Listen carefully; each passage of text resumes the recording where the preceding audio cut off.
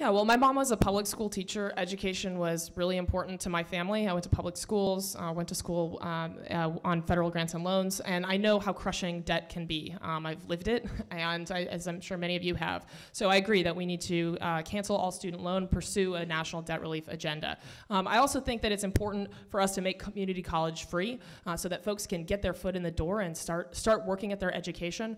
And uh, specifically for San Diego, it's important that we have a massive federal investment in apprenticeship training programs. Here in the city, we have a lot of veterans who are getting out every single year, but they don't have the skills to take the jobs in the building trades and construction, shipbuilding that we need so desperately. So we need to create a pipeline for folks who are getting out of service to have a real career and be able to contribute to our economy and stay here in San Diego. So more funding for veterans and also for high school graduates who maybe aren't going to pursue a four-year uh, education. There's a lot of those folks out there, and we're not meeting them where they're at. So um, I think that's very important.